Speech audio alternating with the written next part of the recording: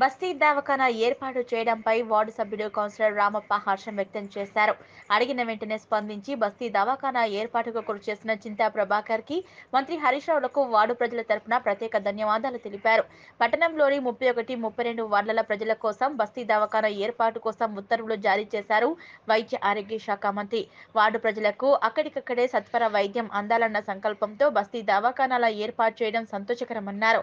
చింతా ప్రభాకర్ లాంటి నాయకుడు దొరకడం తమ అదృష్టమన్నారు. అడిగిన వెంటనే మంత్రి హరీష్ రావుకు గుర్తు చేసి సమస్య పరిష్కారానికి కృషి చేసిన వ్యక్తి చింతా ప్రభాకర్ అన్నారు. కేసీఆర్ హరీష్ రావు చింతా ప్రభాకర్లకు అండగా ఉంటామని తెలిపారు. నేను వార్డ్ నంబర్ ముప్పై రెండు సంగారెడ్డి పట్టణం మున్సిపల్ కౌన్సిలర్ను మాట్లాడుతున్నాను. ఈరోజు టీఆర్ఎస్ ప్రభుత్వ హయాంలో ఎక్కడ లేని అభివృద్ధి జరుగుతుంది.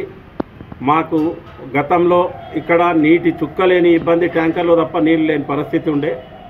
ఆ సమయంలో చింతా ప్రభాకర్ అన్న ద్వారా మంత్రి హరీష్ రావు గారిని అడిగితే ఇమీడియట్ శాంక్షన్ చేయించి ఆ రోజు రాత్రే అందరికీ ఫోన్లో చేసి తెల్లారి ఎస్టిమేట్ చేసి ట్యాంక్ స్టార్ట్ చేసిండ్రు.